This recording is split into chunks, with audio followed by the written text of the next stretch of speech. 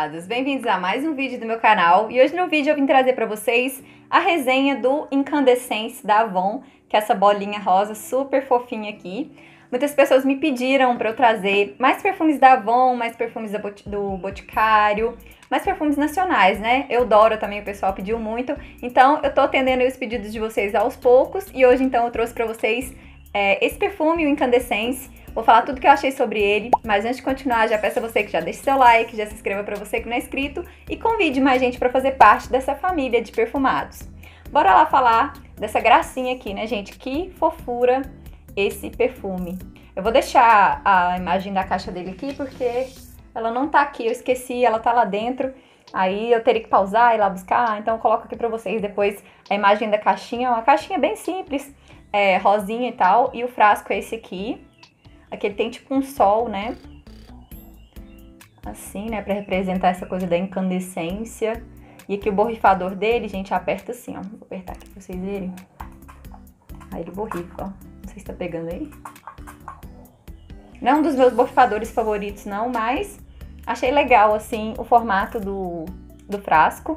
Me encantei por essa bolinha. Quando eu vi muita gente falando dele, eu fiquei interessadíssima no cheiro. E ele tem um cheiro muito gostosinho mesmo, tô sentindo aqui agora no ar, né? Mas enfim, gente, esse aqui é um perfume da Avon, então, ele é de 2018. Fora do Brasil, tem muitos incandescentes, né? Eu vi uma resenha da da Ellen Augusto falando dos incandescentes, de um incandescente de um tempo atrás, que vendia aqui no Brasil também não vende mais.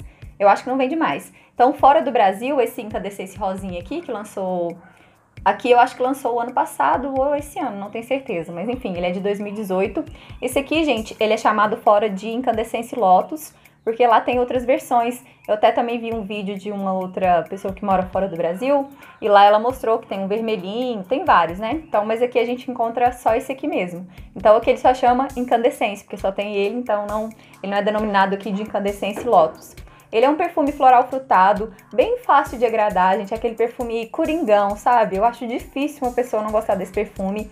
Eu fiquei meio com medo, assim, por ele chamar Incandescence Lotus fora do Brasil, dele ter essa, essa nota de Lotus, assim, muito presente que chegasse a incomodar, mas não achei. Achei um perfume bem tranquilinho, ele foi muito na vibe, assim, pra mim, do Modern Princess, que é um floral frutado que eu gosto muito, que eu, tra eu já até acabei com um frasquinho. Eu trazia muito ele aqui no canal, tenho agora só o frasquinho vazio também. Mas é um perfume que vai bem nessa onda de ter um, uma fruta bem adocicada, é, suculenta na saída. Então ele é bem docinho de saída, ele tem o marmelo e tem a mora.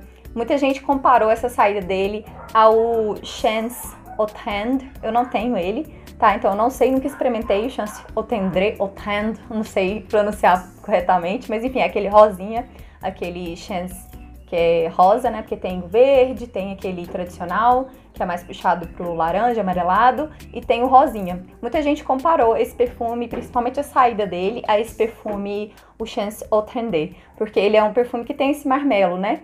Eu não sei falar pra vocês, parece porque eu não conheço mesmo, mas enfim, ele tem esse lado adocicado, né, do marmelo, com a amora na saída. Vou até borrifar de novo, que é bem gostoso a saída dele.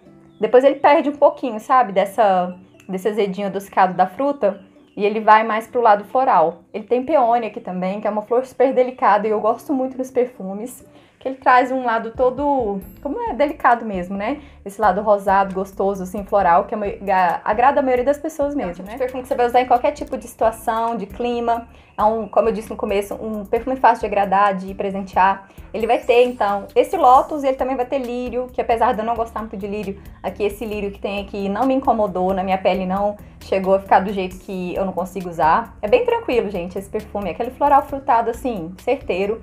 Ele vai ter almíscar também e uma baunilha de fundo que vai trazer um adocicado bem leve, é aquele floralzinho frutado bem com aquele adocicado só, aquele pontinho assim, sabe, para dar aquela amaciada no finalzinho do perfume. Ele tem também algumas notas amadeiradas, até para segurar a fragrância, mas não é aquela coisa que quem não gosta dos amadeirados não vai gostar. Então eu compararia esse perfume, ele vai na vibe para mim, se eu pensar em perfumes nacionais, ele lembra perfumes no estilo também do, dos floratas, florata rose, florata aquele florata novo que lançou o Love Flower, mas esse aqui ele é mais frutado, ele tem uma presença desse marmelo que dá um, um azedinho a mais nele, sabe? Eu acho já o, o Love Flower, por exemplo, um perfume mais lácteo, mais cremoso do que esse aqui. Então, bem refrescante, ele só pecou pra mim na questão de fixação, ele não fixou muito, ele é um perfume bem rente à pele, viu? É aquele perfume que você não vai exalar, então só quem chega próximo a você que vai conseguir sentir o seu cheiro, mas você, ele dá uma exalada assim, que você consegue sentir, sabe? Aquele perfume que te deixa perfumada, bate aquele ventinho e você relembra que você tá usando ele, mas ele tem uma fixação de 4 horas na minha pele. É, o... Aqui gente tá falando que ele é um eau de parfum, mas assim, não achei ele com uma fixação tão boa, pelo menos não na minha pele, sabe?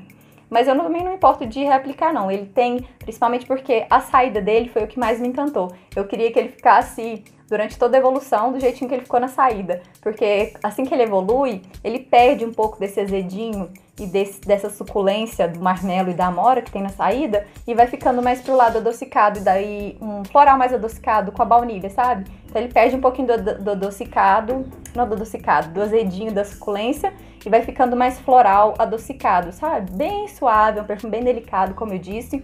Super indico aí para quem tá à procura desse tipo de perfume, floral rosa, para você que gosta de de perfumes mais discretos. É uma opção maravilhosa, eu gostei muito de conhecer. E esse aqui vai acabar rapidinho, porque é aquele tipo de perfume que você quer sentir toda hora, que você borrifa muito, sabe? Enfim, essas foram as minhas percepções sobre incandescência. Espero que essa resenha tenha ajudado vocês de alguma forma. Quem já conhece esse perfume, por favor, deixa para mim nos comentários como esse perfume reagiu na sua pele, se foi parecido com a minha, se ou não. Eu adoro ver aí as opiniões diferentes pra gente poder comparar também, porque cada pele uma sentença, né? Espero que vocês tenham gostado, como eu disse. Vejo vocês nos próximos vídeos. Fiquem com Deus. Grande beijo. Tchau.